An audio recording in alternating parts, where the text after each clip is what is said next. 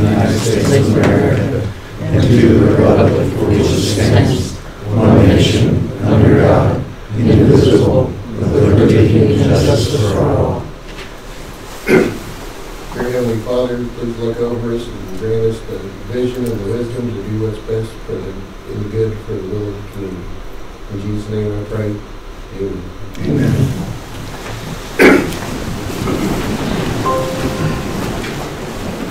All right, this is item C. This will be approval agenda. So this is the approve the agenda for December 13th, being today, 2021, regular planning commission meeting. Make a motion to approve the agenda? Second. All in favor? Aye. Aye. Very good. This is item D, citizens' comments. So at this point, we'll allow citizens to comment on any agenda item they wish. You're only allowed three minutes. Please leave your questions as comments if you have any additional comments or questions. And you don't feel like they're answered during the presentation of the agenda item, feel free to come up to me after the meeting. Uh, Each guest is welcome to comment, but they must state their first and last name and where they reside. So at this point, Mr. Chair, if you'd like to open up citizens' Open up comments. this to citizens' comments, please. All right, anybody, feel free. You gonna start? Not everybody get up at once. Uh, Mr. Van Amberg, uh, members of the Goddard Planning Commission and city administrators, my name is Curtis Kidwell, and I live at 21101 West 23rd Street South, just to the south of the proposed annexation, with my wife Allison. For the record, I would like to state that I'm not opposed to progress or the need for the city of Goddard to expand, but I am opposed to the proposed annexation at the corner of 215th Street West and 23rd Street South and the rezoning to R2. Uh, I had prepared a six-page statement that you're, with graphs and Excel spreadsheets that I would like to share with you. It kind of gives a little more information as to what brings me to my position tonight. Um, But let's remember your mission, charter, zoning regulations state that you look out for the public interest and the safety. Even in the invocation, we talk about what's best for the public interest. Um, So let's talk about safety. My prepared statement goes into depth as to how safety is affected in the realms of increased traffic by our schools, parks, and trails, crime, flooding, especially flooding. My statement shows that the floodplain uh, spreadsheet looking at just the runoff in gallons of water from the, just the rooftops, not counting other impermeable surfaces. Uh, Also from your mission statement, uh, you declare that uh, development should be visually appealing. Let's talk about Cloverleaf Farms north of Ace Hardware for a minute. Uh, Talking to people around town, I have yet to hear someone describe that development as visually appealing. I have, however, heard things like row houses and Goddard's Plainview development. With the number of houses and duplexes in this proposed annexation, uh, I'm afraid and fearful that the development will look just as visually unappealing. I challenge the Planning Commission and the City Council and the city administrators to promote some high-end housing within the city limits. I believe that it is very short-sighted of the community development uh, process to not have a housing development of large lots and high-end houses. Maize and Andover have fixed this issue. Even Garden Plain has Larry Steckline's Pretty Flowers Estate Edition. Um, This area would be better suited to that kind of development. Uh, Once again, let's talk to the mission statement, let's talk about economic sustainability. In January, the city was carrying $22 million in debt and approved a $2.8 million deficit budget. But yet, the city council meeting last November 15th somehow approved $100,000 to give to the ICT developers uh, for water line installation in the proposed annexation. How is this fiscally uh, responsible and sustainable? Let's not forget the impact to our schools and overcrowding, uh, and once again flooding, uh, disastrously affect on the economic sustainability. And finally, let's talk about public feedback and protecting the larger public interest. Uh, So, let's talk a minute about Um, Exactly a minute, please. Um, Our found, our government was founded on these self-evident truths, that all men are created equal, that they are endowed by the Creator with certain unalienable rights, that among these are life, liberty, and the pursuit of happiness, that to secure these rights, governments are instituted among men uh, deriving their just powers from the consent of the governed. Thomas Jefferson Declaration of Independence. Said another way, this commission, the city council, and elected officials in this community derive their powers from the consent of the people they represent. Remember that the people living in the community and their needs and wishes come before the developers living outside of the community and the limited liability companies formed to earn a profit for themselves. Neither of these entities have the best interest of the community and the people living here. And in the spirit of the Declaration of Independence, I do not give my consent to this development. Thank you.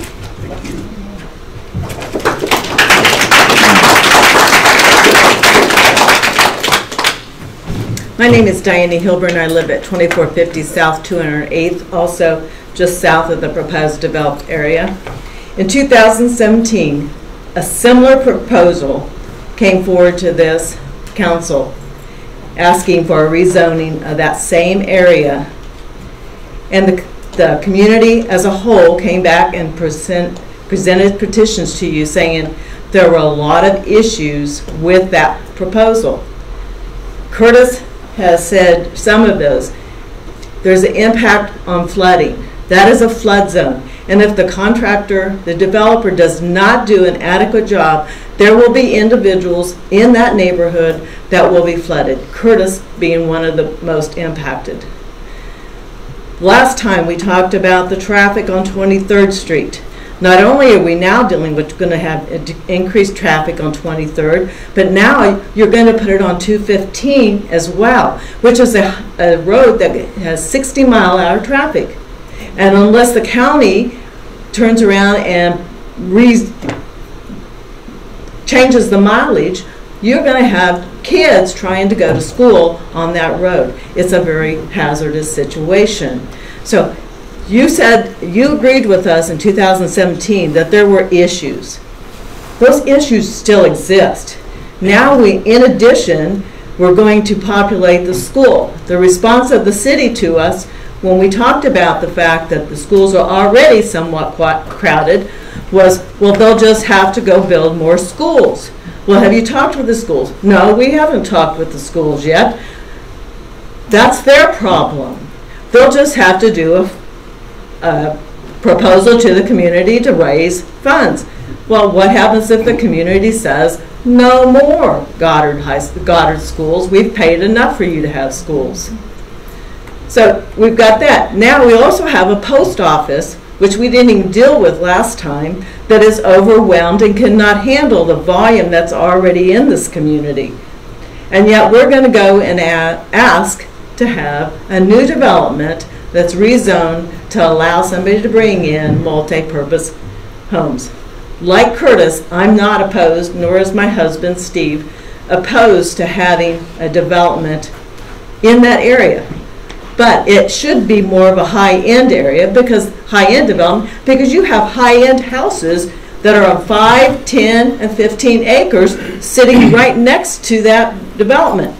And you're wanting to go stick in 100 to 40, 180 homes, multifamily plus single-family, to, to work with that whole neighborhood. It doesn't, it's not aesthetically pleasing, and like he, Curtis mentioned, and uh, Garden Plain, Andover, Maize, they are working to have a better plan on how they bring in their community. We were told one of the reasons why they want, the city wants this development is because people want to live in Goddard because of the school system. Well, at some point in time, if the school system can't handle the volume there will be a point in time where people aren't going to want to live in Goddard anymore because of the school system. It's no different that people used to want to live in Wichita. They don't anymore because of the school system. So I, I am adamantly opposed to the rezoning of that property, as is my husband. Thank you.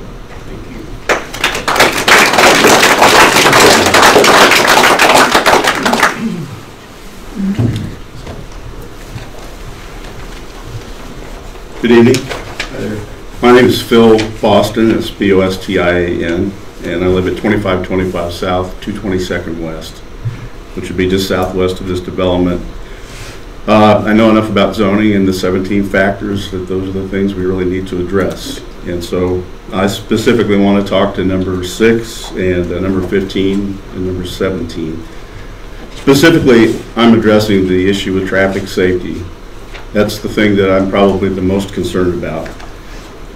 Number six asks about, uh, are there streets that, uh, do street, does street access exist or can they be provided? So can it be provided or does it exist? In my opinion, no, but that, it, that comes back to the definition of do the streets exist or is there access to the streets?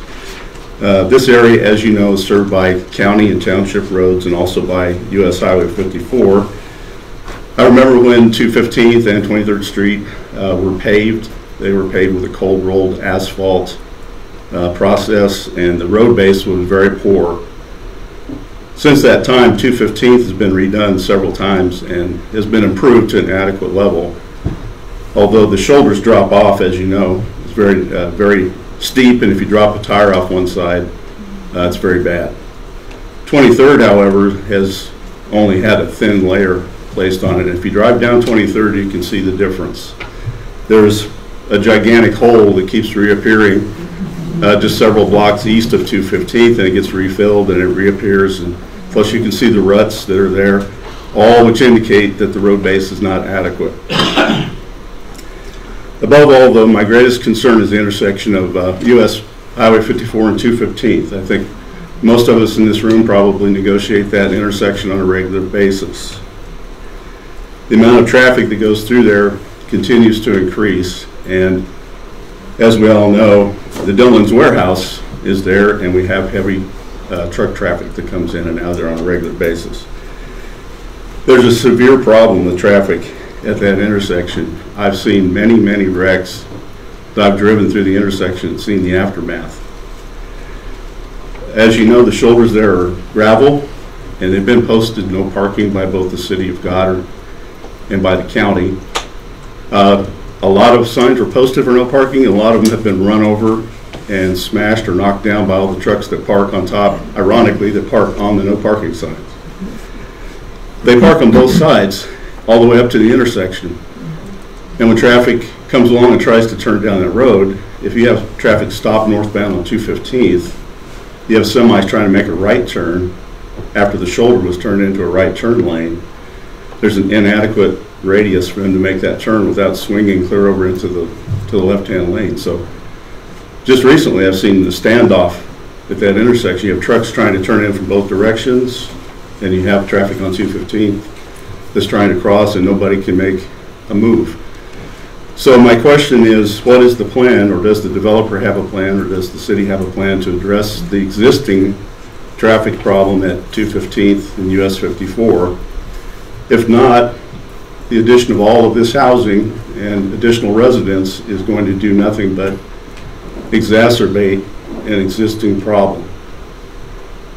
I have no idea whether there is an existing plan, but my guess is that the developer probably has not addressed this issue because it's far enough away.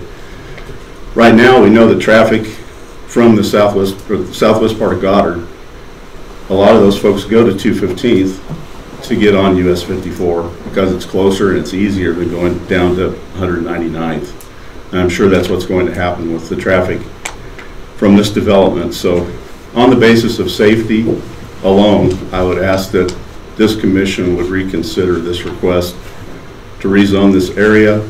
I also think we should not uh, give the developer the opportunity to get a blanket uh, conditional use permit because as they add each additional uh, housing unit, that's going to create another impact. So I think the developer should have to come back for each housing unit and ask for a conditional use permit rather than a blanket elimination like they're asking for. So thank you for your time. I appreciate it. Thank you.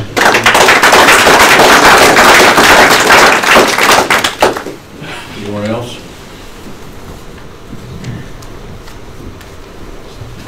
Good evening, Commissioners. My name is Cody Branham. I'm a local real estate attorney, and I'm here tonight on behalf of Terry and Janet Driscoll. They reside at 2125 21025 West 23rd Street, located approximately southeast of this uh, proposed rezoning. Uh, Terry and Janice, in their regards. They wish they could be here tonight, but they're out of town on work commitments, and so I'm here to express some of their concerns uh, with this proposal, a lot of which has, uh, you've heard already tonight in terms of uh, issues that will just naturally arise because of the increased population density that this development uh, would cause. Uh, You've already heard concerns tonight about increased traffic uh, and the increased roadway maintenance that would be required to support that level of uh, traffic uh, and safety concerns. You've also heard about flooding concerns tonight. Uh, Another item that I know the Driscolls are concerned with that hasn't yet been addressed tonight is the fact that with these multifamily housings, you're going, majority of those folks are going to be leasing the property, right? Uh, And it's not to say that, you know, tenants are undesirable or anything like that, but the concern is they may not have the level of buy-in or commitment to keeping the neighborhood well-maintained that someone who owns the property uh, and would be a long-term resident may share. Uh, They're concerned uh, in terms of, you know, how are we going to ensure that the property is being well-maintained? I I have no doubt that the the proposed developer has good intentions with this development, but there's nothing restricting the proposed developer from selling it to a slumlord in five years, then you have a huge problem on your hands in terms of just the sheer number of people living there and the maintenance. Uh, As was mentioned earlier, uh, a proposal for this same property uh, to make it multifamily housing was uh, considered in 2017 and ultimately denied by the city council. I thought, looking in those minutes from 2017, the city council did a great job of, you know, uh, listening and considering the concerns of their citizens and really acting on behalf of their citizens. And so I would just urge you to do the same tonight. Thank you.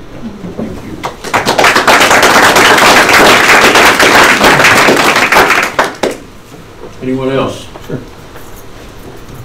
Oh, How's it going? Uh, My name's Ed Cropper. I live at 2700 South 222nd Street West. Uh, Just echoing some of the previous concerns with uh, flooding, also the traffic. Um, And at the same time, I would like to see where the council would start looking to developers or entertaining developers that are wanting to bring up homes that would include, or that the uh, the employees the largest employer in the, the city would use. Uh, 265 has lots of teachers. They don't have a place to live because our homes, fortunately for a lot of the homeowners, are, are up, up upwards of 200,000 plus. Uh, I don't know how many beginning teachers are, are able to afford a $200,000 home, but I doubt it's in Goddard. Something to consider there. Uh, floodways, you know, we talked about that and we talked about traffic.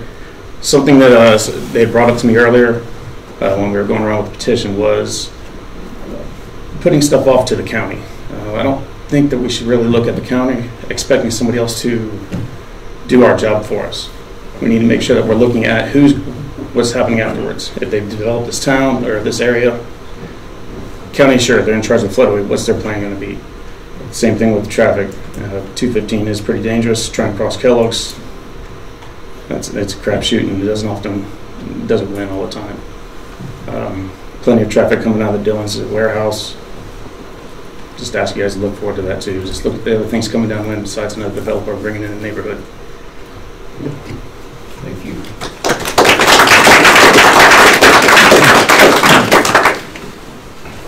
Else?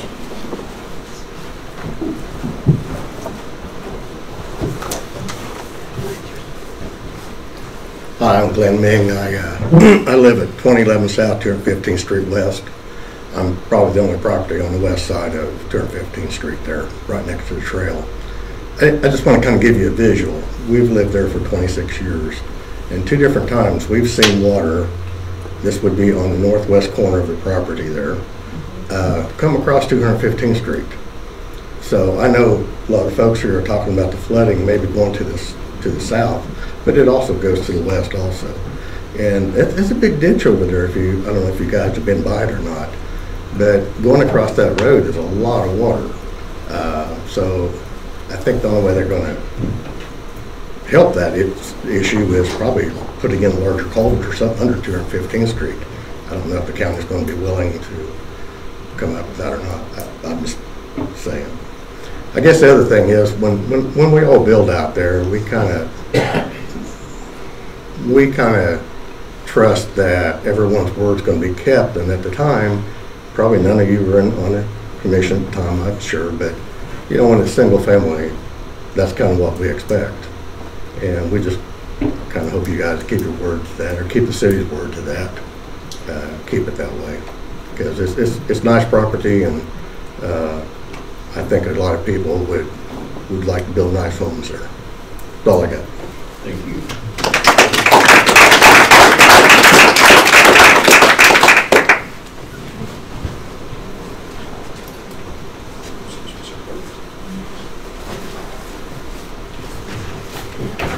Good evening. Uh, Appreciate you guys letting me speak this evening. Uh, My name is Mark Lewis. I live at 416 Richard Road uh, on the corner of Walnut and Richard, uh, just right across the street from the Clark Davidson Elementary School. And uh, I would just like to echo the concerns of safety regarding that road in particular, as well as 23rd. And the amount, my my concern largely is the amount of traffic that that will generate, that having 40 to 50 duplexes, so that's 80 units or 100 units. Uh, So we're talking about somewhere between 100 and 200 additional vehicles traveling up and down 215 as well as up and down Walnut trying to get kids to school. Uh, That road, both of those roads are really quite busy already, and I have uh, dire concerns about safety and just traffic in general. Uh, Additionally, this is the community that, you- that this impacts. Uh, All the citizens that are here this evening, this is, this is who this impacts. Um, And we're, I think, I can probably speak for everybody here, that we are all opposed to the proposed development for multifamily housing. Single-family housing, I think, would be sufficient. I think that that would be great for our community in this area, but I, I just don't believe that multifamily housing is, is in the best interest of this community, in this community, this citizenry in this area. Please don't, please don't do this to our community. Thank you very much for your time.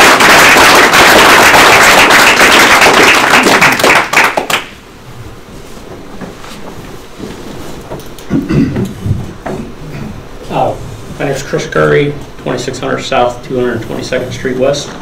Um, I've heard several of the individuals here mention concerns about traffic on 215th and on 23rd Street. Um, I want to make sure that everyone here is aware that maintenance of 23rd Street from Market, I believe it is, where Clark Davidson is, to 215th Street is not the responsibility of the city, nor is it the responsibility of the county. It is the township. And the township does not have the ability to maintain that road, as is evident with that large pothole. Um, That I called on that back in August, September of last year. Called the city first. They put me in contact with the county. The county said, no, that's the city's. I finally found out that it was the township that is responsible for maintaining that road. It is evident that they don't have the ability to even fill in a pothole adequately and to put that additional traffic on 23rd Street. There's no way that the township is going to be able to maintain that road to a safe level for all those additional vehicles. So, Thank you. Thank you.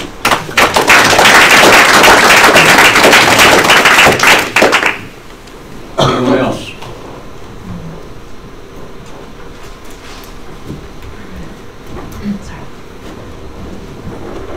Thank you very much for hearing us speak tonight.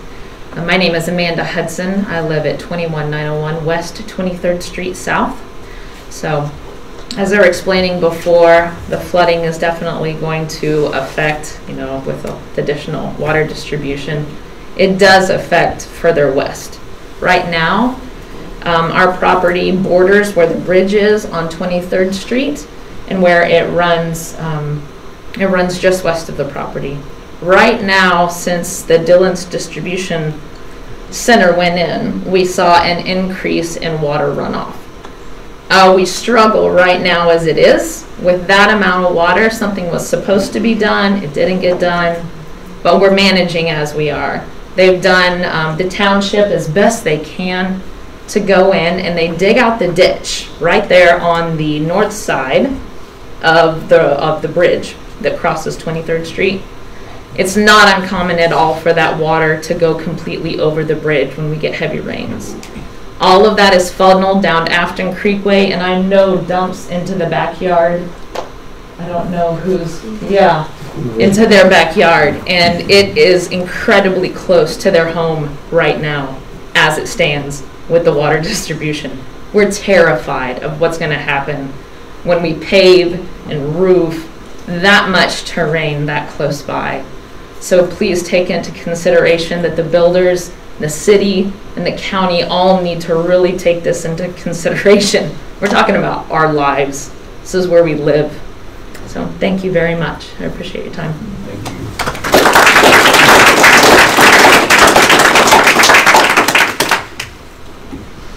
Anyone else?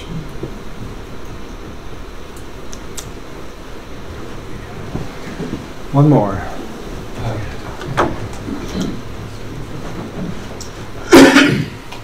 Good evening. My name is Kirk Johnson, and my wife's Teresa. We live at 21405 West 23rd Street South. It's directly south of uh, this activity. We've been there for 23 years, and and we really enjoyed the view out there, that nice open field, you know, but we understand progress is uh, working its way towards us. And uh, But I do want to reiterate what everyone else said about flooding. Uh, I've seen water roll out of that one field uh, from the north of us down into the ditch and down in the culverts in between us and Kidwell's. And there's a 15-foot rooster tail coming out of that tube on the other side. And it's just uh, scary sometimes. And if the engineer doesn't do his job properly with those, those retaining uh, lakes and ponds, there's going to be a big issue. And, and like they've said before, uh, it did a real good job of, of iterating how, how important that is to us. The other thing I haven't heard is that uh, traffic is the main concern. Traffic, uh, our front window looks out 23rd Street, and I can't tell you how many semis I'm seeing coming down 23rd Street now for some reason. Whether they don't want to turn left on uh, 215 and, go to left on Kellogg or whatever, but they're coming down 23rd Street. And that pothole, that's just, you know, that's right where the water, you know, comes across the low, one of the lowest areas in that area. And all those trucks, they're just making it worse. And like they said, they're just throwing rocks in it, and it just, it just it's not a fix. You get, they have to get down to the, the bed somewhere down below three inches to fix that whole thing. So, so okay, so there's there's two accesses on 215 and one that's on 23rd Street. And since that'll be uh, city now, uh, all those houses, if they have kids, they're not going to be bused. The your parents have to take them to the schools. So if all the schools start at the same time, that's a lot of traffic coming out of that one hole on 23rd Street because they're not going to want to go on uh, 215 because of the trucks and uh, turning left. I, I, there's not even a, a way to get around those trucks, you know, to turn right if I want to turn right. So I got to wait for these guys, maybe you know, 10 minutes sometimes, waiting for a nice hole so they can get out and turn left to go to Hutchinson. And it just, uh, it's, guys, we're living it every day, and it just, uh, it's not easy. We understand that Goddard needs more housing. The, the, uh, one, single resident versus double resident. Single resident, I really don't have that much issue with. The double, why can't we have an area just for doubles? You know, that, that area behind Ace seems there's a lot of uh, duplexes back there. Why can't you just keep them segregated like that? It's already been approved. Everyone's already used, used to that idea of having those kind of houses there. Uh, the people that would live in that area, uh, that own their own houses would see an influx of people coming in and out all the time. Just get to know them while they're moving out, just get new people moving out. It's just, there's probably no ownership in taking care of the house because it's not yours. You know, I just, that would fall on the landowner and uh, the property owner, and if he owns a lot of land, that's, can get expensive maintaining all that, so, you know, it just, uh, we, we prefer just the single dwelling homes in that area, plus the other safety concerns we, we talked about. Thank you for your time, appreciate it.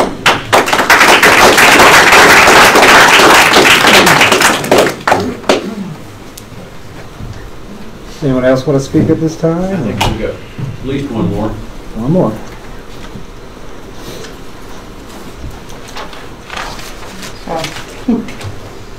Um, good evening. My name is Tracy Leadham, and I live at that corner. Okay, you don't know how many times I've seen people almost killed.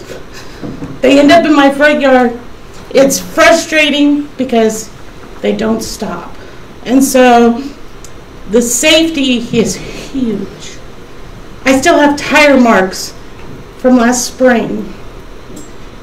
Trucks park right next to our house, next to our trees, on the dirt road. And they sit there and they will park because they have no place else to park.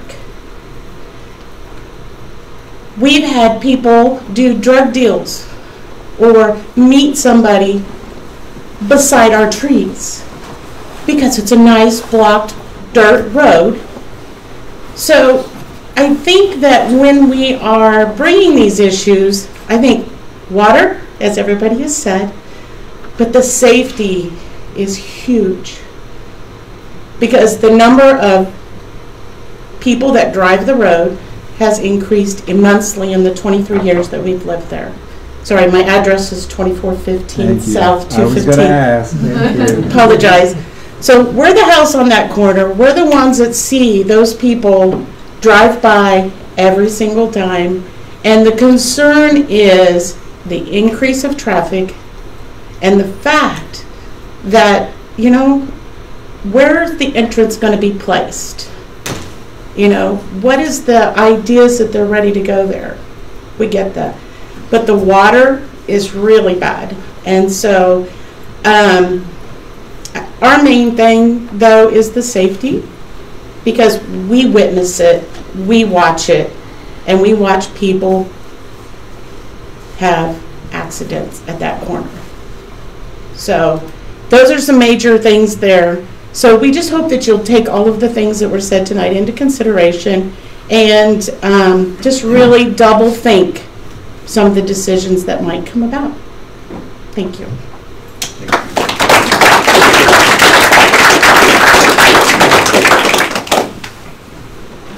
Would anyone else like to speak or, or up one more?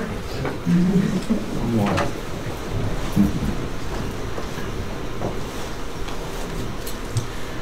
my name is Bob Merritt. I live at 2501 South 222nd Street West, which would be uh, catty corner, south and west of the property I think that's uh, in question.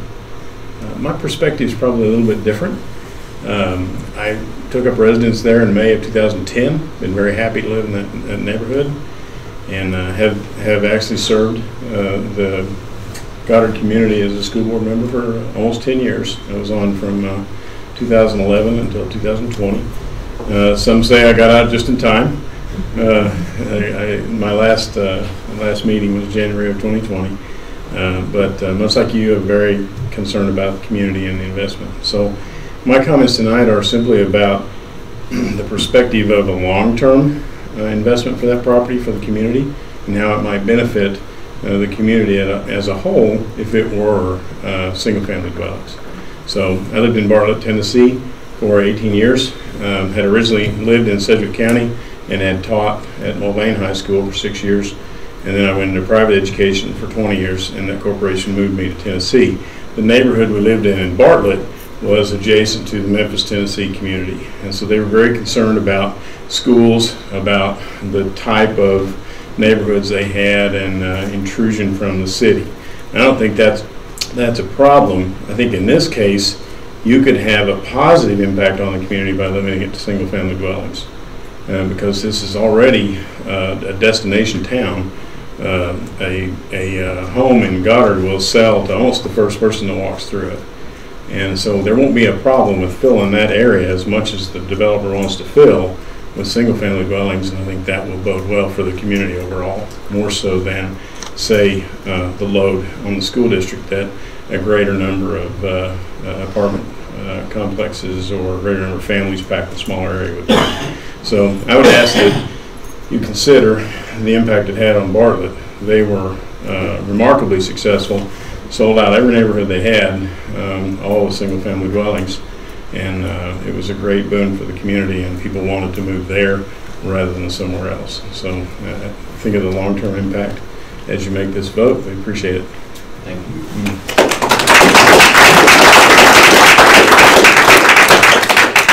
Anyone else? All right. Close this portion of citizen comments. I'd like to close citizens' comments. Thank you. Very good. All right, as mentioned, if anyone has any follow-up questions from the agenda items, feel free to meet me after or in my office. It's open from 8 to 4:30. So we're going to go on to item E. This is approval of the minutes. So this is to approve the planning commission of regular meeting minutes from November 8th, 2021. Um, As a refresher, we had a special use application for the restaurant bar at 401 Industrial and the conversion of an accessory to a principal building. I'll make a motion to approve minutes. I'll second. All in favor? Aye. Aye. Very good. So this is item F, this is the Board of Zoning Appeals, so this is item F1. So this is a conditional use permit for the carport, this is case number CUP-21-1. Quick background, uh, Eugene and Darlene Paulsmeyer submitted an application for a conditional use permit, a CUP, to add a carport to the property that exceeds, that exceeds 400 square feet. The current subdivision regulations state that the carport cannot exceed 400 square feet unless a conditional use permit has been approved by the Board of Zoning Appeals for a larger structure. Uh, key- A CUP requires publication in the newspaper and 20 days elapsed before they can be considered by the BZA. A CUP also requires letters to be sent out to everyone within 200 feet of the property, within city limits and 1,000 feet outside city limits. Uh, According to Article 6, 100.b of subdivision regulations, permitted accessory uses, and you can read it from here. But basically jumping down to the orange part, which is the fun part, it says 400 square feet for a carport unless the conditional use is approved. So this is where we get the idea that if you exceed 400 square feet on a carport, you're going to have to ask for a conditional use permit, very similar to what we have for our detached garages. If they exceed 720, then, but now 1440, then you would have to pull a conditional use permit, very same for the carport. So the Board of Zoning Appeals is considering approving a carport that exceeds the maximum 400 square feet. The property owners are asking for 800 square feet. The request will put the carport inside its setback on the east side, which will have to be considered with a following variance request, which will be the second follow-up item. The request does not exceed the maximum lot coverage of 35%. The request puts the lot coverage at 18%. The property is located at 427 West Third Avenue, and there's the property. The blue line is the property limits. Proposed carport would be somewhere around there, not scale, not scale, just an example. This is some examples of what the carport would look like, traditional carport. Small publication cost per state law and approved as to form. It is the recommendation that the planning commission to approve the CUP for the carport, subject to review the variance request as to follow-up to accompany the CUP request simply because the carport would extend into the setback on the east side. So the second agenda item following this one, if this one is approved, would be to consider the variance for the setback. But at this point, we would invite Dar- uh, Darlene or Eugene Paulmeyer, if you wish. I don't know where you guys are. Oh, hi. You want to come speak on the item and any questions, feel free. Good evening, I'm Gene Paulsmeyer, my wife Darlene. We're looking to put a carport in our backyard, get a couple of trailers out of the Kansas weather, a little further from the street, and I would entertain any questions you might have. Are the, where are the trailers, are they currently stored on your property? or Yes. you stored somewhere else? Yes, they're on my property at the moment.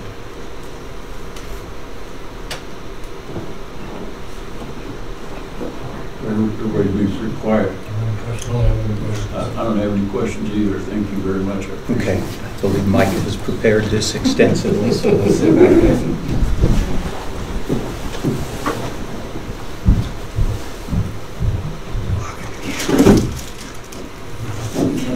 I'll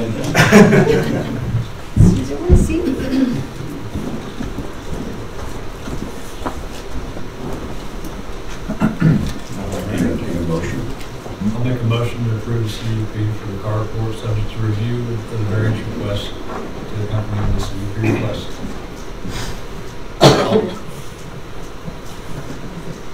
I'll favor? Thank you very much. So this would be the follow-up item, the setback variance request for the carport.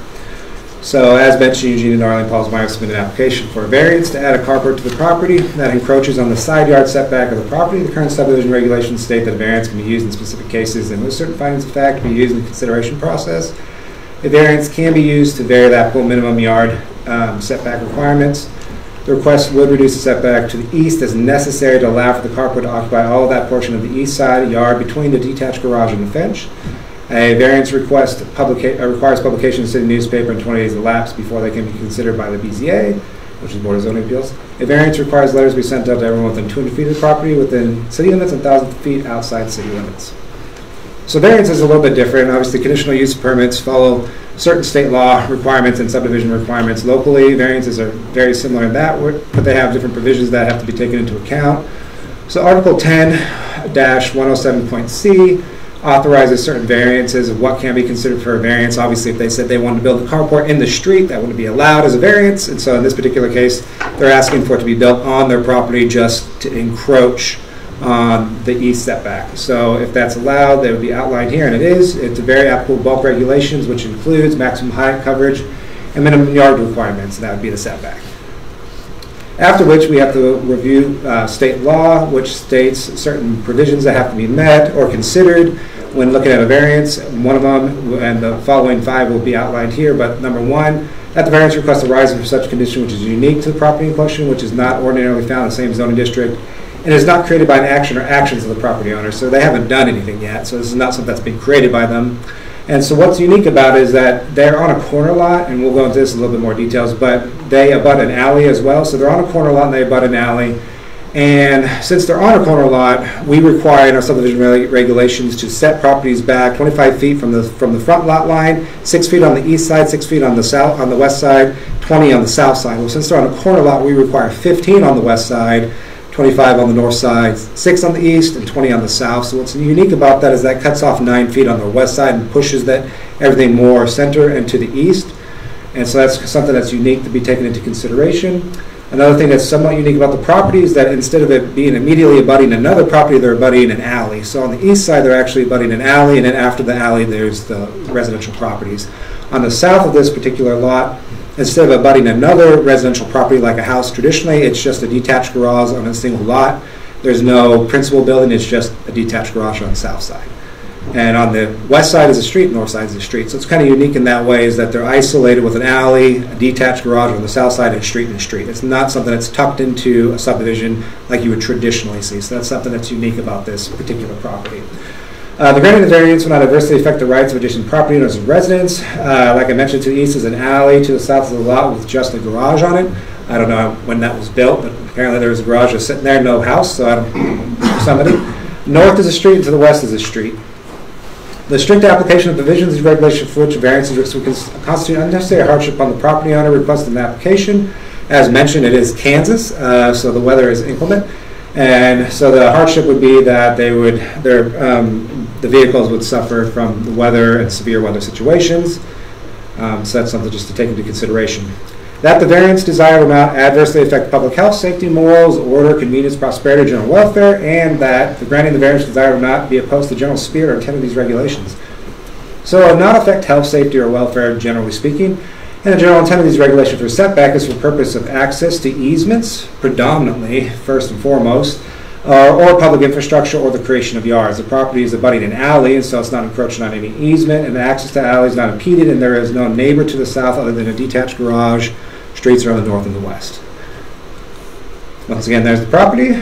So this is what a traditional lot would look like, assuming it was tucked in, similar to some of these properties over here. It would have six on the west for a setback, six on the east, 20 on the south, and 25 on the north.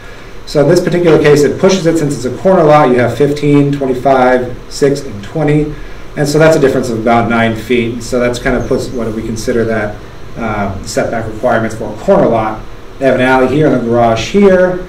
And so we're just asking that that request be considered. If the carport were to go over, it would go over this east setback and encroach on this, on this east setback. Not an easement, but a setback. So there's no utilities or anything in here. All the utilities are in the alley And so if they were to need to get into any of the public infrastructure here, it would not impact that, and there would be no undue hardship given to Public Works Department. Small publication costs per state law as is required, and legally it's approved as the form. So it is recommended that the planning commission approve the setback variance request for the carport encroaching on the east setback for 427 West Third Street. Entertain the motion. I move that we approve the setback variance request for the carport encroaching on the east setback for 127 West Third. I'll second. Second. All in favor? Aye. Very good. You guys are welcome to stay if you want, or feel free to enjoy the rest of the evening. So, item F3, so this is what all the hubbub is about, of course. This is ICT Development Rezoning Request, case number zone dash 21 dash 1. So, quick background, Garver LLC has submitted a rezoning request on behalf of the developer Brian McGauley Kirk Richards for a proposed development on the corner of 215th and 23rd. The rezoning request would change the zoning classification of the proposed land development from R1 Single Family Residential Development to R2 Two Family Development. Purpose of the rezoning land would be to allow duplex to be built within the development without having to go through a conditional use permit for each lot or rezoning a portion of the development. If the planning commission approves the rezoning, it would have to then go before the city council for a final decision. And if it was approved, it would then become official 30 days after publication in the city newspaper, as is tradition and state law. So this is a continuation of that analysis. This is the 17 items that are required for review, but not necessarily for determining the outcome of the, of the decision by the planning commission is meant for guidelines. Uh, This comes from the City of Overland Park versus Golden, and basically these 17 items, purple being my answer, black being the question from the, from the 17 requirements. So what are the existing uses and their character and condition on the subject property and the surrounding neighborhood? The land to the east is farming slash ranch operations. I get this from Sedgwick County LBCS, Land-Based Classification System. To the south, the land use is single-family residence detached. To the west, land use is farming ranch operation. To the north is farming ranch land. Uh, There are two schools in close proximity to the east and northeast, and there's a Dillon warehouse to the northwest. What is the current zoning of the subject property and that of the surrounding neighborhood in relation to the request?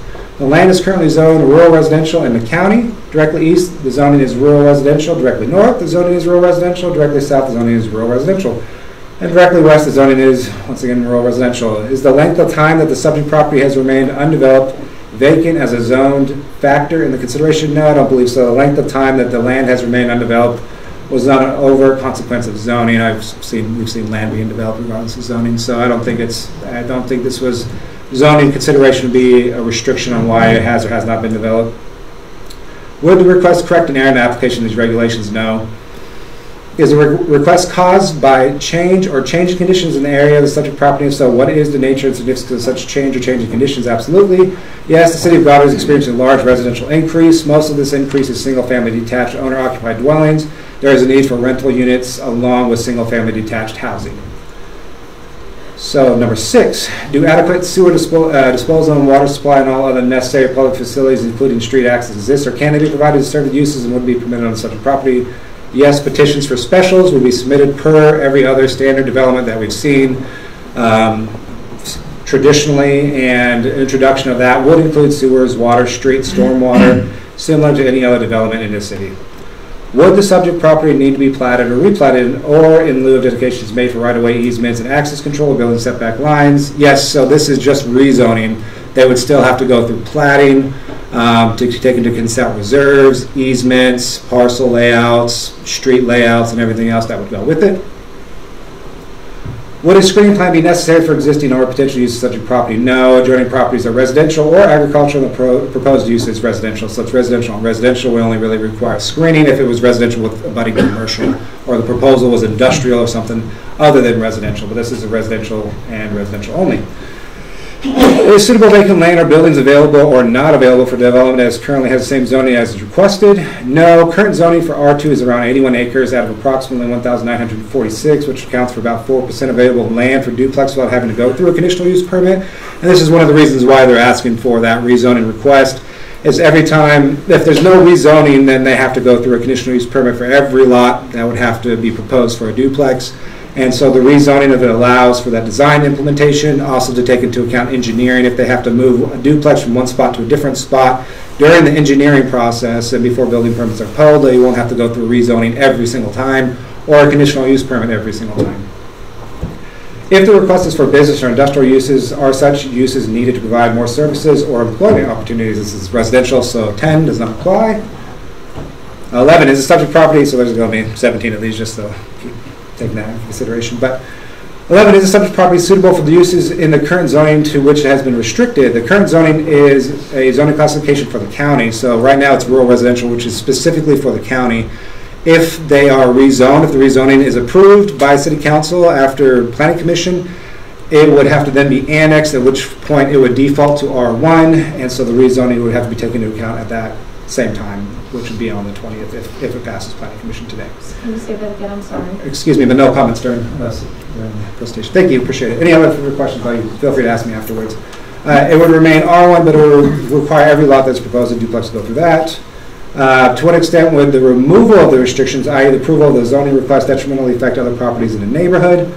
Value is a difficult thing to determine, so notice in particular that they're asking about detrimentally affect other properties. This is not talking about quality of life, they're actually specifically highlighting property here.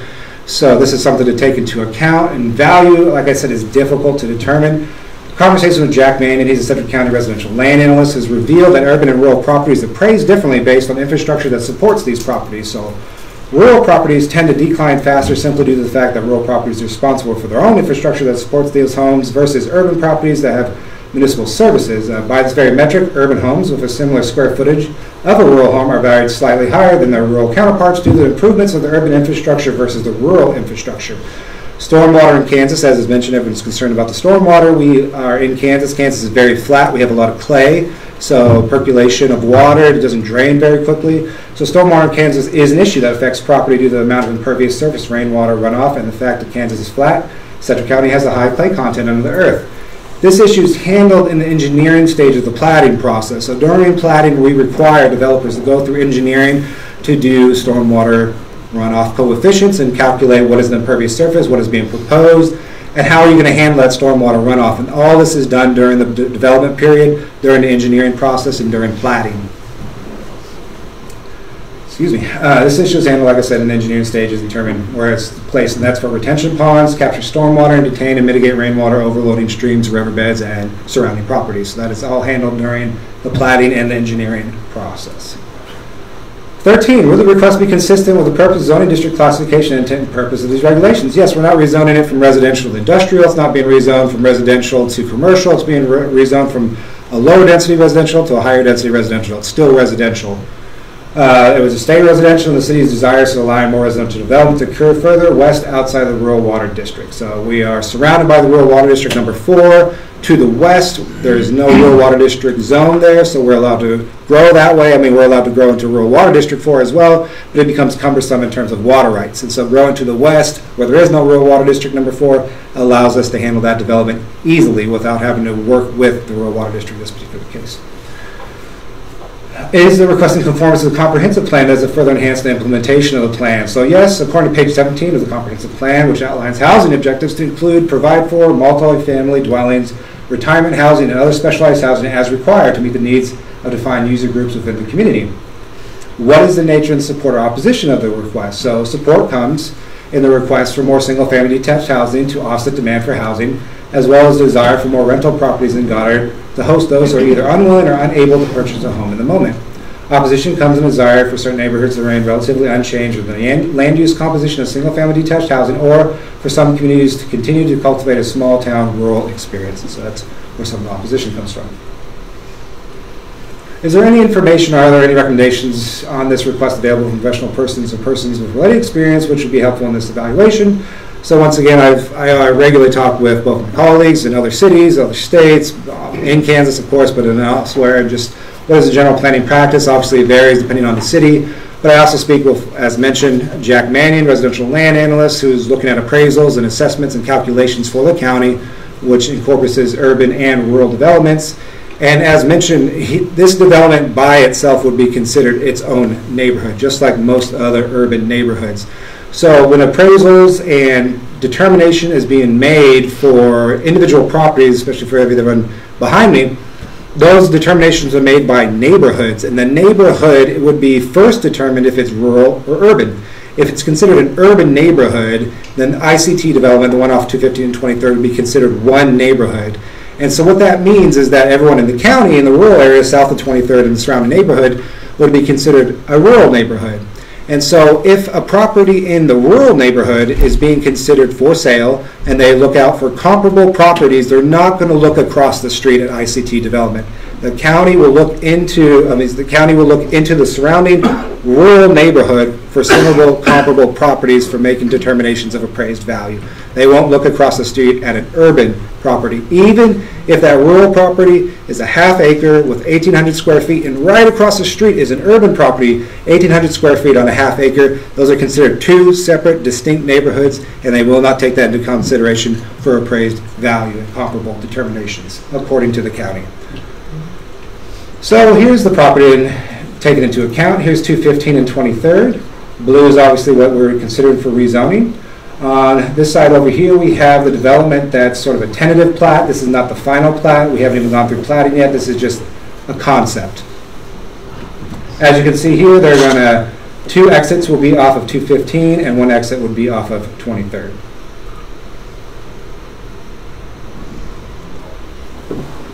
There is a small publication cost per state law. Legally, it's approved as the form. It is recommendation that the Planning Commission approve the rezoning request for the ICT development land. At this point, I would invite Chris Baum to come up and speak on behalf of the developer.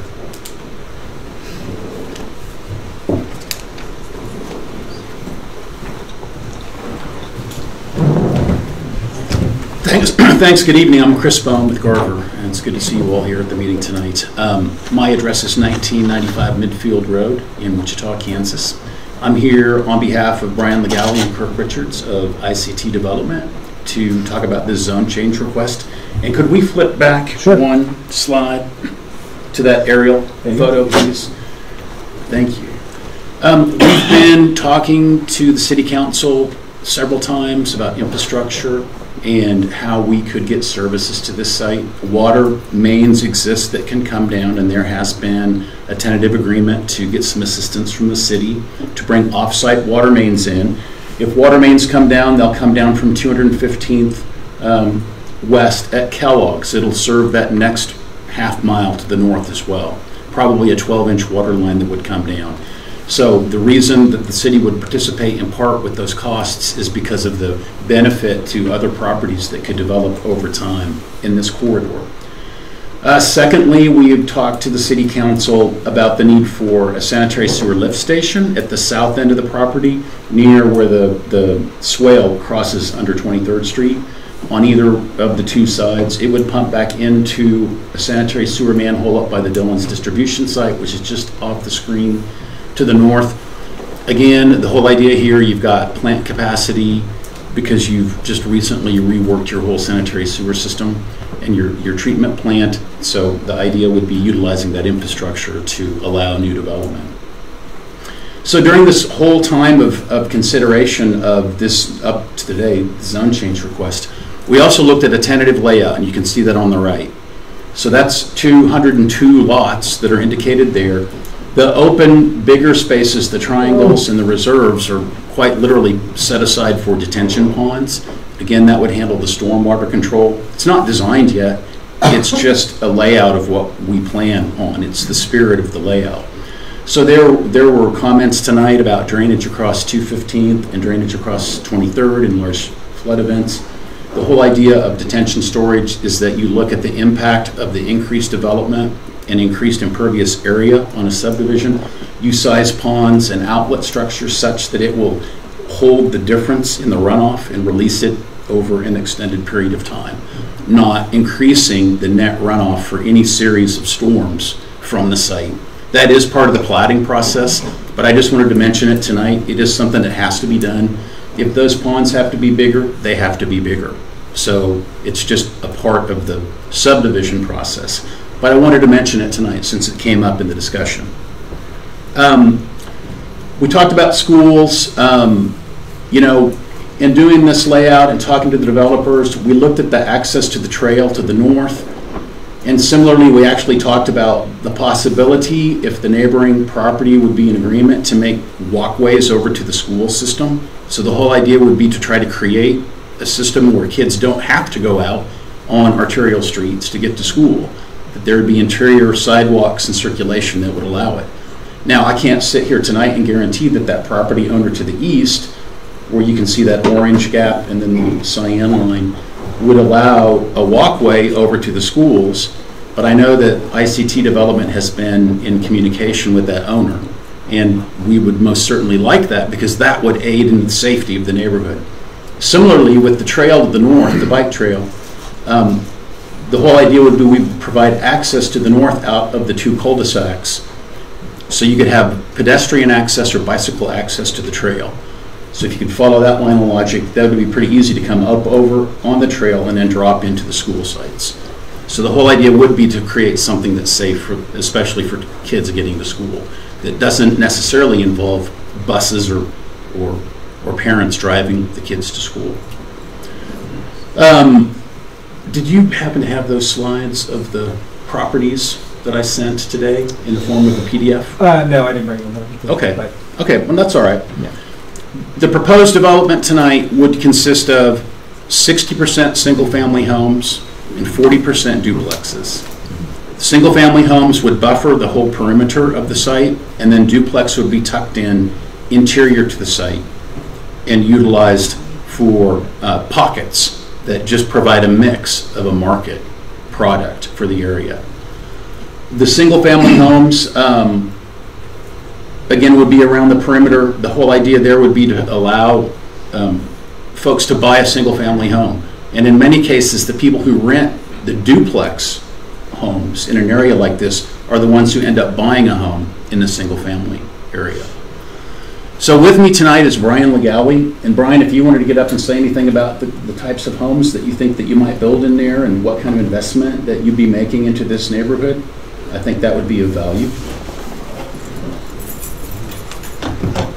Hello, uh, Brian Legali, uh, 1517 Obsidian Court, Wichita. Um, Kirk Richards and I are looking at doing this development together. We're planning on just trying to get, start out, get some affordable housing, and then it will, we'll have a wide range of price ranges in there. We're looking at between 1,000 square feet to 1,800 square feet. Um, You're probably looking at uh, 200,000 to 400,000 dollar price range. Um, They're not low income, there's not HUD housing, there's nothing like that. Um, If you see the pictures that we had, uh, they're, they're nice, the duplexes, the houses um, will work well together. Um, uh, We put fence yards in on the houses and on the uh, duplexes. They'll have uh, private fenced-in yards, sprinkler systems, excuse me, um, landscaping, the mowing and all the maintenance, outside maintenance and everything will be taken care of by the association. Um, So that is all done together, so it's all mowed at the same time, fertilized, taken care of, watered, all together. Um, That is an expense that we incur and is part of the, the, uh, the rent. Um, We'll sell some of them, Uh, they're gonna, they will, the duplex, half of the duplex will sell around 180,000 up. Um, the rents will be uh, about $1,200 to $1,800, kind of in that range. Um, see what else. We're also putting in some parks and some recreation areas in the neighborhood too, some playground equipment, that kind of thing. Um, We're going to do some uh, bike paths inside of our neighborhood as well. And uh, And Brian, I shared with them the, I printed some of those handouts, and here it is. If you want to walk them through, this is page one. Uh, Some of yeah, the these are- homes. These are kind of the, the homes we're planning on building. They'll start out, like I say, they'll start out about 1,000 square feet and we'll intermix. We picture as we get to the north, that the houses will probably be a little bit higher end. at the further north we go toward the uh, train track, it's just a, a nice drawing point there for the track. We're also looking at doing some, a small cluster of uh, geared toward the retirement community. Um, There'll be small two-bedroom duplexes um, uh, geared toward the 55 and over is what we're looking for on those. So we're going to have a bunch of different price ranges, different types to kind of cover all the needs. Second page is more of some of the duplex models. those are some duplexes we just finished up um, over at 119th and uh, 29th Street. Um, They're selling, uh, the whole building, they're selling for um, right at 340 to 350 uh, per building. And uh, we did the same thing there. We have fenced-in yards, landscaping, sprinklers, all the yard maintenance, everything's taken care of. And then some more duplexes, and on the third sheet, there's another kind of a, a different kind of a variant under construction that you can see on that last sheet. A little different architectural style under construction.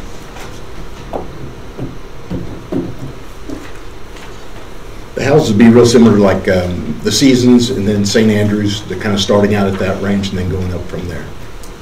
Are are you gonna specify the lots, or you- is it gonna be up to the person who wants to purchase what size house they build?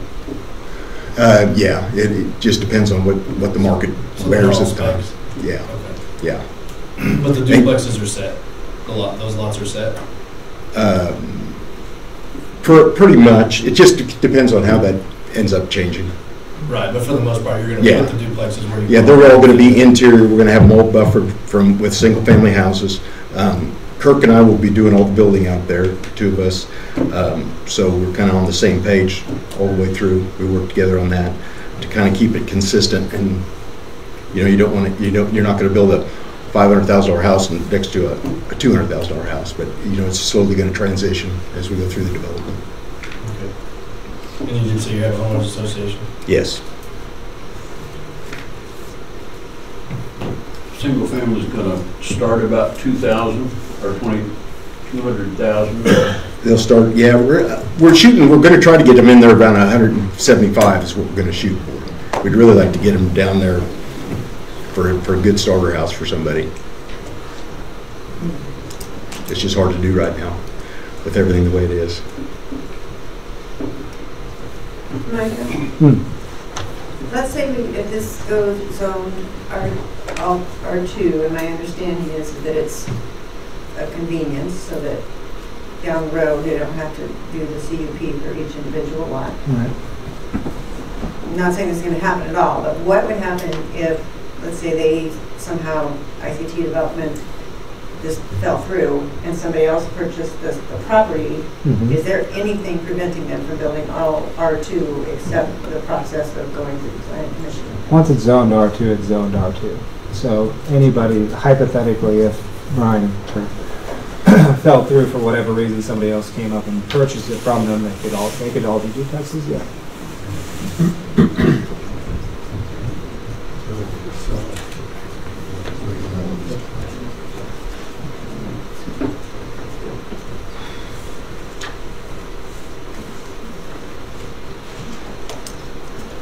What has been, I, you- you you mentioned, there's been conversation, you know, we talked about schools and the, um, the water infrastructure.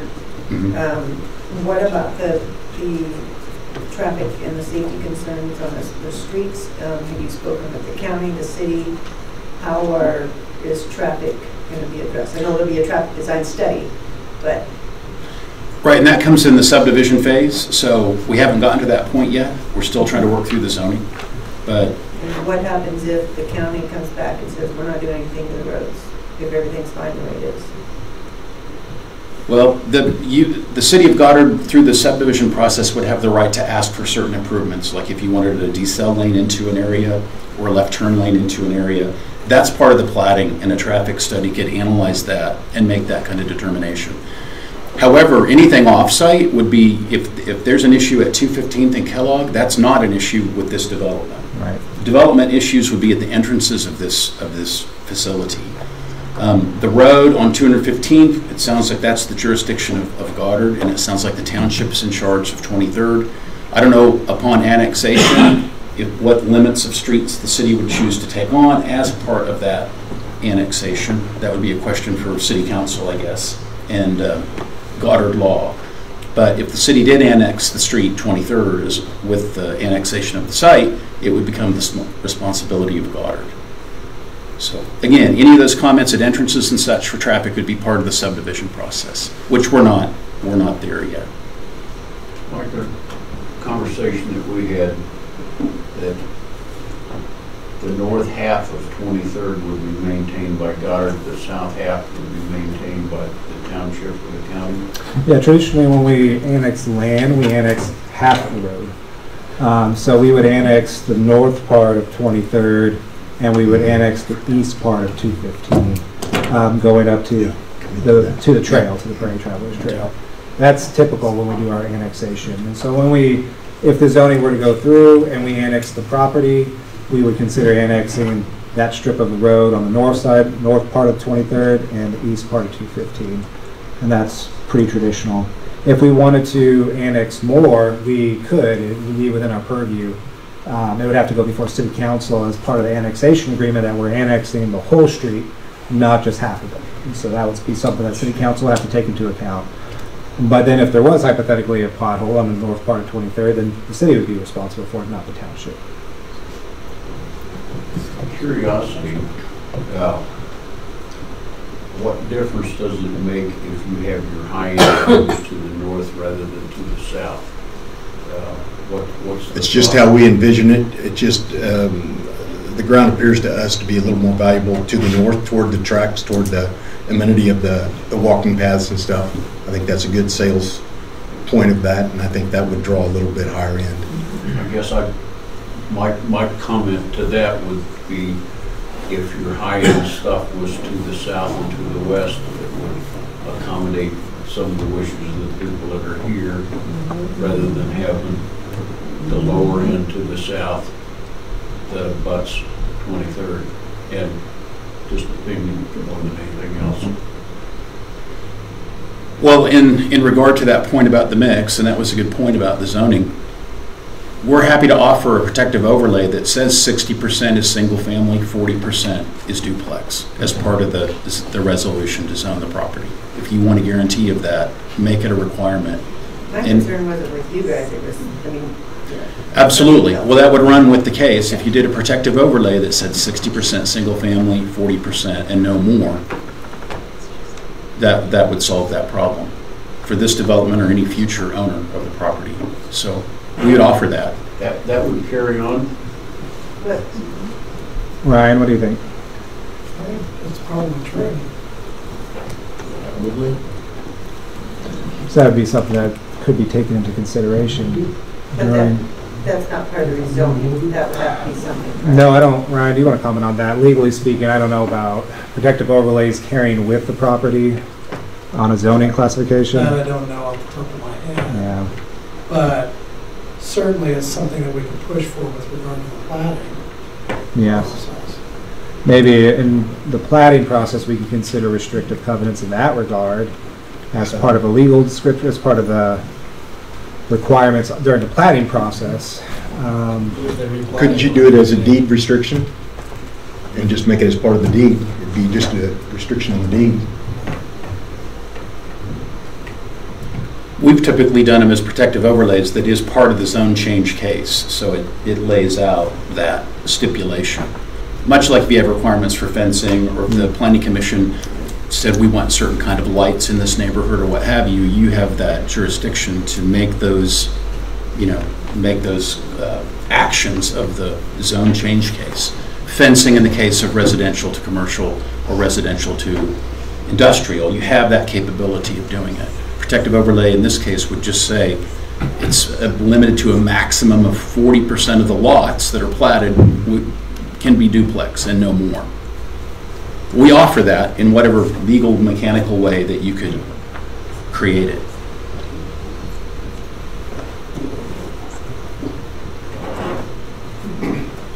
questions.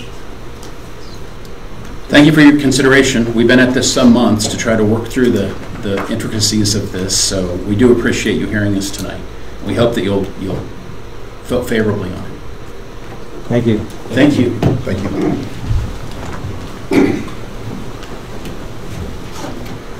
We'd have to look at the legal qualifications of a protective overlay, but in theory, if it worked in Wichita, there's a good chance it would work here. Which would be better than doing it in planning, because they can always replat it. They could always rezone it too. So there's a lot that could go into that, but I mean, if nothing else, it would just provide another hurdle. If planning commission and city council felt like that would be a good provision to adopt as part of the rezoning, then it certainly would put the bar higher for someone down the road. Hypothetically, if the development were to fail, uh, that would just be another hurdle they would have to jump through for a future developer in the case of a hypothetical situation. So, um, like I said, I would have to just check with legal on that outside, but if you wanted to consider that as part of the approval process, feel free. And we will also provide, present that to city council. I thought of one more question, gentlemen, I'm sorry. Do you have, do you have any plans for a common area park or anything like that? Yes, Okay. there's going to be a couple, couple small parks and uh, recreation areas in there. Okay, thank you.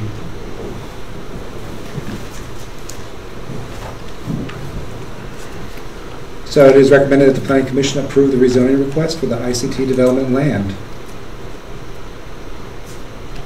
What's your motion? How do we do that with the protective overlay? You would, depending on your recommendation, you would make a recommendation. If hypothetically, if it was to approve, then it would be, you know, we make a motion to approve the rezoning request for ICT development land contingent upon the legal consideration of a protective overlay to be presented to city council, who has final authority on the rezoning request.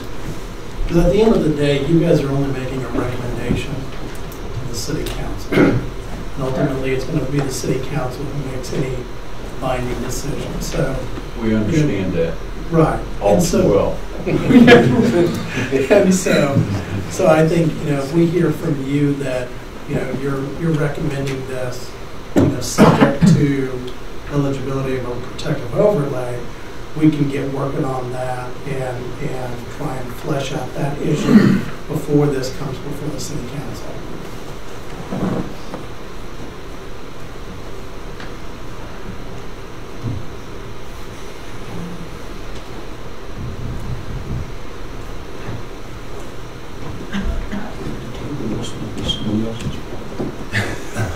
We're not retired yet. But ideally, this would alleviate some of the water problems. That's what I think. That had gone on for years over there. As long as it's undeveloped, but that will never change. Well, Wouldn't you agree, Mr. Mark? Yeah, I agree. I'm not so concerned with the water. It's going to be engineered to capture and clean and Yeah. distribute. And that, that has to be, That has to happen over an acre. That has to happen. I, I guess my own, and let's, let's have a motion and then discuss. So, we, we need a motion and then we can discuss the, the other things beyond that. Is that wrong? Isn't that discussion after a motion? No. I wouldn't think you discuss it. Okay. Make a motion to go back, kind of, come to this sort of conclusion. Mike? Yes. What do you think? I think discussion happens at the bench when you're ready for a motion. You make a motion in a second, Yes. and then you uh, move forward. Next agenda item. I think my big concern is traffic. That, I'm that's, right there. I mean, I I believe that the water issue can probably be alleviated with design, and plat, you know, with, um, engineering. But the traffic is a concern for me too. I mean, I understand that there's not only the, the neighborhood, but with what we're hearing from Dillons activity with the semi and the big trucks that's blocking the intersection access to Kellogg. I think there's more of an issue here than just on E. Yep. Amen. ten minutes is I fine. I have a concern too with the, with the R two, you know, if our, if the city of Goddard's process or the CDPs and the R twos is a issue, then that's a, that's a separate issue, that's a separate problem. And if we start, you know, an exception here, an exception here, in the process, Process for what? for, for, for zoning, for, for the CDPs, for the R two. Not the. It's not really the problem, it's just individual property. Right. Rather than make a blanket, make it an individual. Well, just that we're saying, okay, we're doing an R two because the process for R two is, the normal process for R two is cumbersome. I don't know if the normal process is cumbersome, it's just that if we, if they have to do a CUP for every duplex, That's come, everyone has to come in. That's been forty percent of those lots. But then that's a, to me, that's a city guard. I mean, if we want to make the process easier, let's make the process easier. That's what they're doing by trying to rezone it to R two. Which makes the whole process easier. I, I can see this as a workaround for one, one thing, you know, when it's not an ongoing, not a permanent solution to the R two CUP problem. That's just my thought. I guess I don't see the problem. I'm not understanding. No, because for this one, we're having to say, okay, okay, we're gonna, you know, it's, well, theoretically, if the uh, sixty forty thing doesn't go through, theoretically, if this falls through, it could be law R two. Correct. Come in, and That, that's, that is, yes, that's a risk we can take by approving it to R two. And, and the only guarantee that you have on that is an overlay that says 100%, and, and that would, and that's out of our control. You maintain control if it stays in R1. And then each, you know, individually is, I know that's what they're trying to do, trying to make it convenient. That it'd be 80 applications if you wanted to put in, you know, 40% duplexes. You'd have that many applications, but the thing would stay at R1 and you'd be able to control that. If it's hard for them to get R two within that, then I think that's a probably Goddard needs to look at, they could maybe change those those zoning regulations to say maybe you can zone a certain percentage R two or something. Rather than having to do every, I think this would work out. this is the same thing we did for Global. They have to apply before they can rezone it individually. And you have to rezone it before they can plat it, so. Right. Um, I don't know, I don't know if it's a- a win-win situation. I guess I just don't understand if we're, if we're gonna entertain the idea of doing a, a CUP on every single lot, what's the difference between that and, and R two approval with an overlay? The overlay seems to be the crux of the matter. If, if an overlay can be set in stone, Right. I agree with that. If it can't, then, then we need to do individual.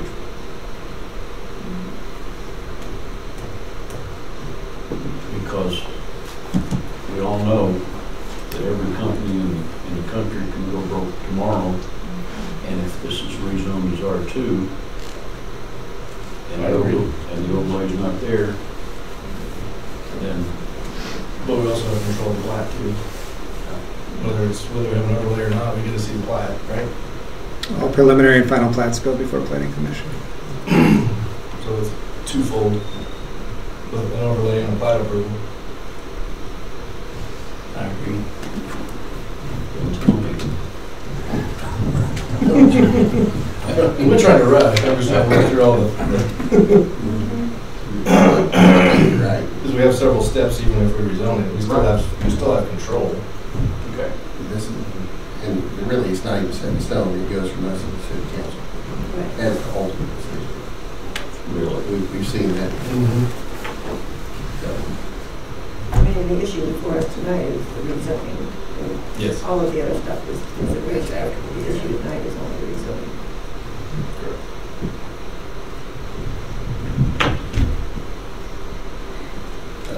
So I'll make a motion, we approve the rezoning of R two based upon, uh, an overlay for the sixty forty. I'll second. Any further discussion? All in favor? Aye. Nay. Yeah. I need to abstain. Want to abstain? So I got no, no, abstain, yes, No. no, and yes. Motion fails.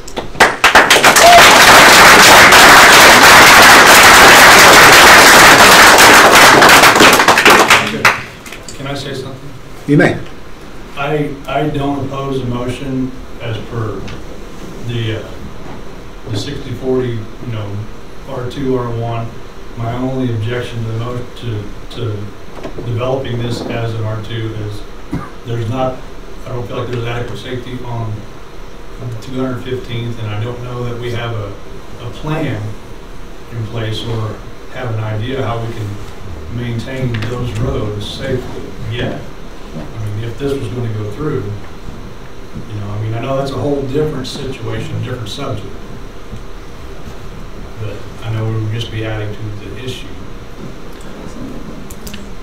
Do you want to propose a separate motion, or do you want to just consider? I don't, I don't know what motion to there. Contingent upon restructuring 213 or 23rd that's all going to be under. It's a whole other deal. It is a whole other deal, but just like you say, that's the crux of it, is if all of this is developed and you can't get from 215th to Walnut in less than an hour, and, and the pothole becomes it can't become bigger. Part of the city of Garden Road and the annexation. Where's that on the wrong side? No, if, if, and if Goddard City can annex the whole road, and I, I agree that, that that's, that's probably the issue. Now, whether the developer wants to pony up to part of the road problem, maybe that's the answer. Yes. How far over the edge you might, pretty close, pretty close? I I mean, that would have to be separate consideration. Um, At this point, the motion fails. I think we'll move on to item F.4. Final consideration for rezone of ICT development goes before city council at this point, so. Thank you, gentlemen. Item F4, this is a conditional use permit for an accessory apartment in the county. Uh, This is case number CON 2021-0051. Uh, Quick background, uh, the city receives notification of zoning changes, conditional use permits, CUP, and other developments outside of city limits if it is in the city's area of influence. This is to notify the city requests comments on these projects to be courteous to the city's growth and inevitable annexation of those properties. This is a formality, and those developments can be approved without the consent of the City of Goddard Planning Commission. However, these projects can trigger a supermajority from the Board of County Commissioners if the local planning commission decides to vote against the proposed development. Uh, So quick analysis, the property location is tax parcel ID 300111581, generally located about 1,200 feet north of US 54 on the east side of 231st. The city considers conditional use permits for items inside of their zone of influence. Uh, This is for an accessory apartment on rural residential lot.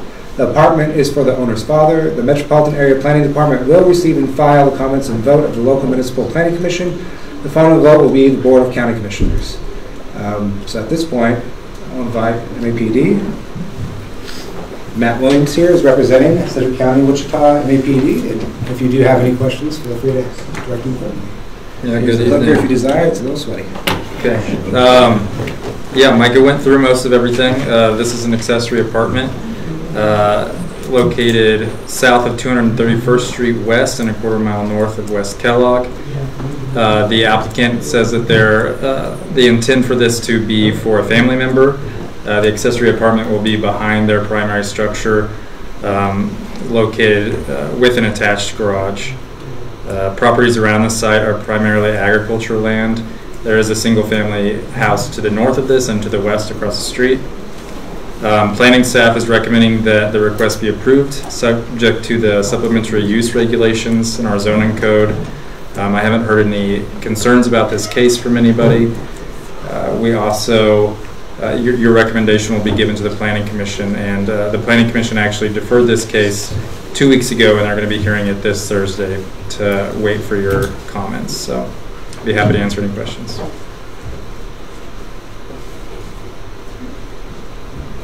Do you have photos on here or anything? You keep going. Okay, yeah, we do have photos. So the site up there is with a star. Um, you can see the site plan there on the right side. Um, uh, the site plan is rotated, so the north is going to be on the right side. So the primary structure will be located closer to the road. Um, the large structure, uh, kind of behind that is a garage with the accessory living unit attached. Can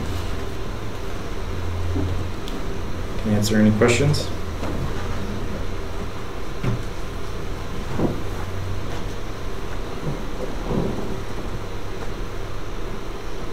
How can this impact any of the? Well, we see, you know, it- it's a residential use. Uh, Our supplementary use regulations require this uh, to be owned by the same owner, so it can't be sold off separately. Um, It's going to go with the land. Uh, We don't see this as having a big impact on uh, neighbors across the street or adjacent to this, um, because, you know, there is a a single-family house to the north, and this is going to be behind the property, or behind the primary residence, so we don't think there will be a large impact on any of the neighboring residences.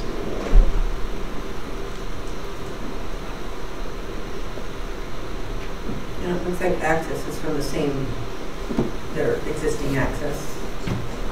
Yep, off of 231st Street, I believe.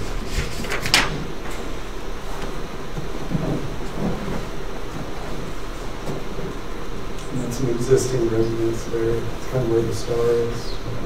Uh, it- Where the star is, the, the property outlined with the white box, it has not been developed yet, but there is an existing residence just north of it and across the street to the west.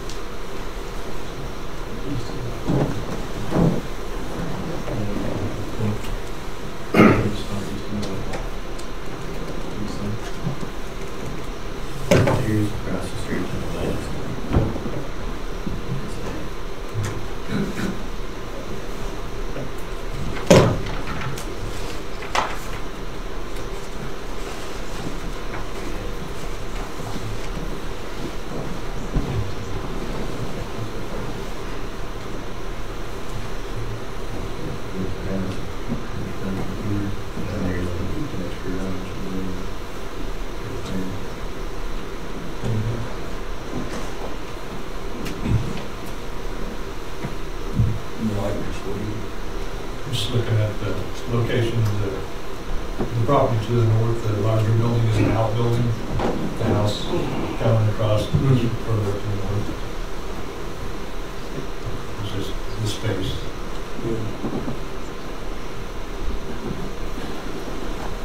Excuse me, I'm the property owner. You'll get a chance to speak right after, excuse me, sorry. Oh. Yeah, after they're done, then you'll get a chance. Oh, okay. Yeah.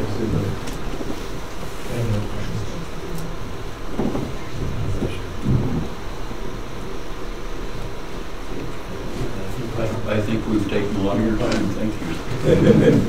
At this time, the property owner, if you have any questions for them, I apologize, I saw you guys had some questions, I am the property owner. If there's any questions that you have. Name and Basically, address, please, sir. Uh, currently it is at 552 East Martins here in Goddard.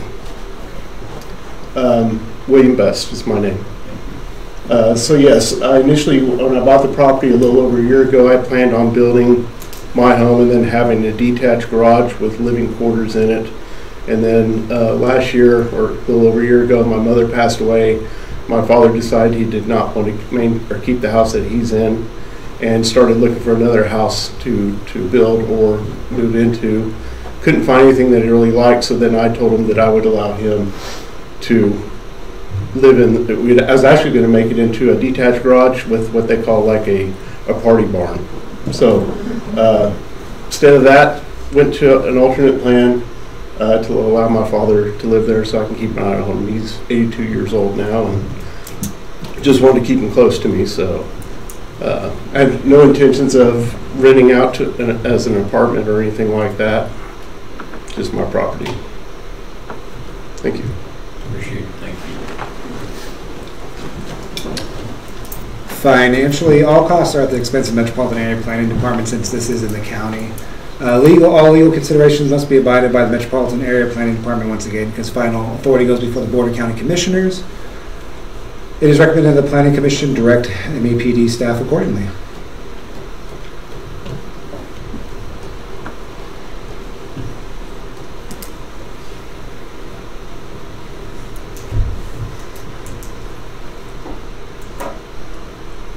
What's that look? I don't understand the motion. Either an affirmative or a denial or, Says, Do we buy into this or not? So is that a motion, um, a motion that we affirm? yeah, is uh, a motion to approve the Yes, the motion to accessory approve apartment? The accessory building. I'll second. All in favor? Aye. Very good. Motion passes. All right.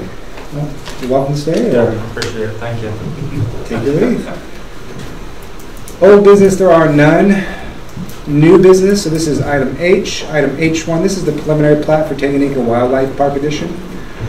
Uh, So quick background, Boston Company PA submitted a preliminary plat on behalf of the developer Jim Fouts. This plat is for the Tanganyika Wildlife Park Addition, which sits on land that was swapped to the city in 2019. This part is part of, excuse me, this plat is part of a greater process to rezone the land as a planned unit development, PUD. It constitutes part two of four to accomplish this rezoning process. Planning Commission approved the process to rezone this land to a PUD on 12/9/2019. Platting of a new land typically requires a stormwater drainage plan, and city engineer is working with Boston Engineering Development to meet these stormwater drainage requirements. Stormwater engineering might require modifications to the final plat, which would be approved by the city council. Planning Commission can approve the plats contingent upon final engineering review and any necessary modifications done to the final plat for stormwater requirements.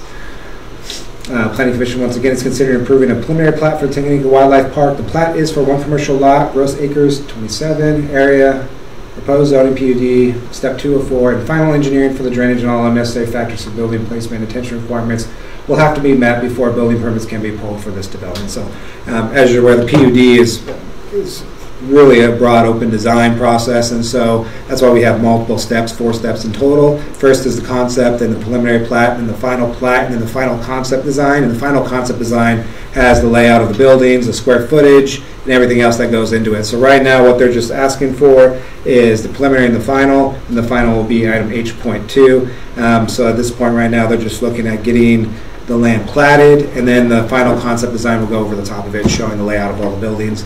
They're not asking for any uh, additional easements. Uh, Most of the development will be, in fact, pretty much all of it's going to be privately developed, so of course, they'll still have to go through review through the city for engineering purposes, but they're not asking for any public lateral mains to go inside this development. It's all going to be private development, privately financed, so. The plat, which is in your agenda packet, this is the preliminary. Financially, none. Platting doesn't require any type of publication or anything else that would go into it. Legally, it's approved as the form. Uh, It is recommended the planning commission approve the preliminary plat for the Tanganyika Wildlife Park addition, contingent upon final engineer review for necessary stormwater drainage requirements and modifications. At this point, I will invite Thomas Joyce, Evans Boffman, who represents the developer, to come up and speak on the matter if you do have any questions of him. So, Thomas, to this point. Would you prefer to slide? Uh, this one. Perfect. Um, yeah, so like Mike said, my name is Thomas Joyce, address 130 South Decker Street, Wichita. Um, here representing Baughman Company on behalf of our applicant, Jim Fouts. Um, so open up to any questions you guys have.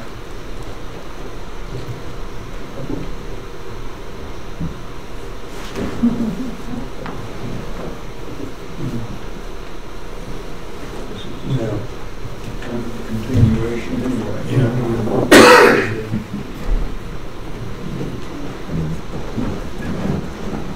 I think you've done a wonderful job, sir. Thank you. This is, my- this is my very first planning commission, so let's keep it all like this, huh? See you, Harlan. I'll be back. I, I think that's all that we need. Thank you very much. You guys went so easy on him, I can't believe it. All right. Got a long ways to go. So at this point, it's recommended the planning commission approve the preliminary plat for Tanganyika Wildlife Park addition, contingent upon final engineering review for necessary stormwater drainage requirements and modifications. i Make a motion to recommend uh, approval of preliminary plat for Tanganyika Wildlife Park addition contingent upon final engineering review for necessary stormwater drainage requirements and modifications. I'll second. All in favor? Aye. Aye. Very good. Item H2 is more of the same, so this will be the final plat. So as you know, Goddard doesn't have any one-step final platting process, so every plat has to be a preliminary and a final. So if everything is as it should be, then we have the preliminary and then the final, and then the final plat goes before city council. And that's for the final decision of city council. So once again, Baughman Company, so most of this is all the same. Planning Commission can approve plats contingent upon final engineering review and any necessary modifications to the final plat for stormwater requirements. Generally the same. Final plat. As you can see, there's a whole lot less on a final plat simply for recording purposes. The county generally doesn't care about contours, not to say that they don't care entirely, it's just they don't want to see it during the recording process. So we have generally as clean as possible for legal reasons and also to help uh, with the development process. But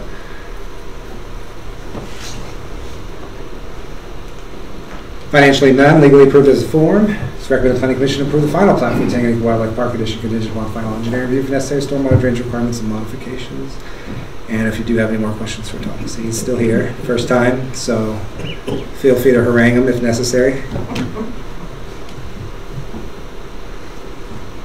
I'll make a motion to approve the final plat for Tanganyika Wildlife Park addition contingent upon the final engineering review for necessary stormwater drainage requirements and modifications.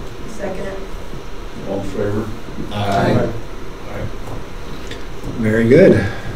Thomas, at this point, if you can stay if you want. It's Very vivacious evening. Just- She got easy. Sure you don't want to join the public sector. Um, So this is item I, staff report. So I-1, this is the year 2021 in review. So we had single-family building permits, we had 60, so we, so far, we've met the same as last year. Last year, we had 60 single-family. We have 60 so far to date, so hopefully if we get a little bit more, we'll just tip over from last year, and we'll be ahead of schedule. Uh, Multifamily, we've had six, commercial, we had four, total value, 18 million for a single family, 1.6 million for multifamily, 9.1 million for commercial. Assessed value, total cut tax collection, once it goes through the county. So, meetings, we've had 12, we met uh, consistently every single month, which I'm grateful for, and I appreciate everybody's time. Four conditional use permits, one variance, eight plats, of course, we had a preliminary and final, so there's that. Uh, Rezoning two, subdivision changes six, site plans three, one special use, and eight other. And item I.2, Doug Van Amberg is retiring. So after many years of dedicated service to the city of Goddard, Doug Van Amberg has decided to step down and spend more time with his family and pursue other hobbies like horse riding and cars. Chair Doug Van Amberg has served on the planning commission faithfully since 1992, a total of 29 years, and has lived in Goddard and County for over 33 years. Mr. Van Amberg's contribution to the city is unquantifiable, and the city is indebted to his perseverance and commitment in serving the city of Goddard for as long as he has. The City of Goddard would like to thank Mr. Van Amberg for his time and service in helping grow the city to become what it is today. The City hopes to continue to build the city, and make it a desirable place for families to locate for many years to come, fostering the spirit of a healthy, vibrant, and active community. At this point, I would like everyone to join me in congratulating Mr. Van Amberg.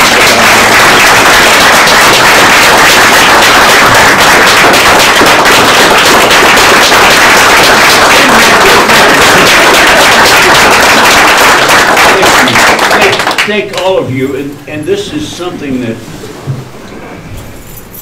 brief history lesson, George Proctor was the mayor, and he also built our house.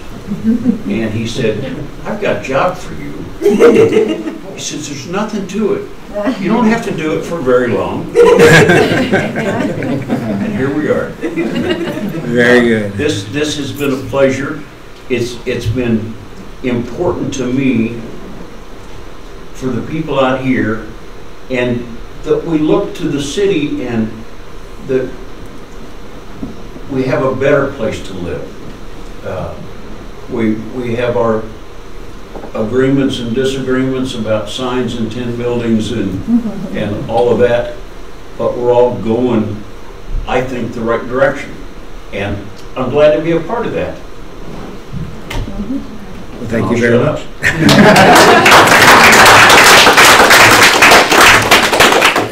I want to encourage the planning commission, and anybody else to um, join us on the 20th when we continue to celebrate the accomplishments of Mr. Doug Van Amberg. So, thank you very much. At this point, item J, planning commissioner comments. No comment. In honor of you, I've got to bring up ten buildings and signs at least six times a year. Thank you for that.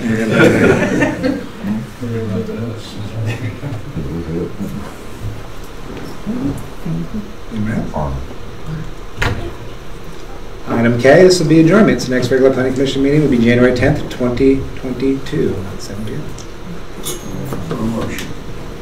Make a motion, we adjourn? I'll second. All in favor? Aye.